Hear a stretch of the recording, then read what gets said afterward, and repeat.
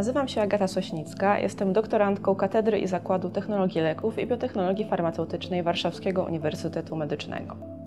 W ramach prac przedwdrożeniowych prowadziłam badania pod tytułem Opracowanie metody oczyszczania ścieków z farmaceutyków z wykorzystaniem grzyba gatunku Armillaria melea. Projekt skupia się na zbadaniu możliwości wykorzystania y, grzyba Armillaria melea, po polsku jest to opieńka miodowa, w procesie mykoremediacji do degradacji farmaceutyków zanieczyszczających środowisko wodne, których obecność stwarza zagrożenie zarówno dla zdrowia ludzkiego, ale także dla funkcjonowania różnych y, ekosystemów. Badany jest wpływ enzymów oksydoredukcyjnych syntetyzowanych przez grzyba do podłoża hodowlanego na wprowadzone do tego podłoża e, zanieczyszczenie lekowe i spodziewanym rezultatem jest zaobserwowanie enzymatycznego rozkładu tego zanieczyszczenia.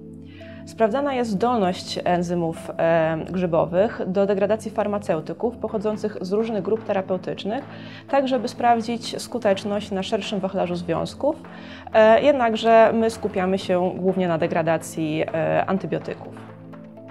Celem projektu jest próba wykorzystania opieńki miodowej do stworzenia układu biologicznego zdolnego do procesu przemysłowego oczyszczania ścieków ze związków trudno degradowanych, jakimi są właśnie farmaceutyki. Opracowany układ biologiczny będzie stanowić e, rozwiązanie technologiczne gotowe do implementacji w oczyszczalniach ścieków.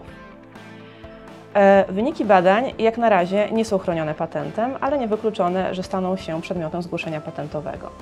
Wyniki powstały w Warszawskim Uniwersytecie Medycznym, który jest ich właścicielem. Pozostali członkowie zespołu badawczego tworzącego projekt to profesor Jadwiga Turło jako wsparcie merytoryczne projektu oraz magister inżynier Bartosz Kuska oraz magister Sandra Górska jako wsparcie techniczne projektu. Rozwiązanie technologiczne proponowane przez, przez, nasz zespół jest innowacyjne, bo jak na razie nie ma doniesień dotyczących wykorzystania techniki mykoremediacji w oczyszczaniach ścieków. Popularna jest metoda bioremediacji z wykorzystaniem różnych szczepów bakterii, E, ale metoda ta posiada pewne ograniczenia, które powodują, że mm, zanieczyszczenia e, występujące w podprogowych stężeniach e, nie są usuwane i przedostają się do wody codziennego użytku. Wykorzystanie grzybów eliminuje ten problem, bo synteza enzymów grzybowych, e, które właśnie odpowiadają za rozkład tych e, zanieczyszczeń, e, zachodzi nawet przy najmniejszych ich stężeniach, w przeciwieństwie do enzymów bakteryjnych, które potrzebują odpowiednio wysokiego stężenia danego zanieczyszczenia, by indukcja enzymatyczna mogła nastąpić. Do finalizacji projektu nasz zespół e, musi jeszcze, e, musi jeszcze dokonać e, badań dotyczących ogólnej toksyczności oraz następnie mm, rozplanować powiększenie skali procesu technologicznego.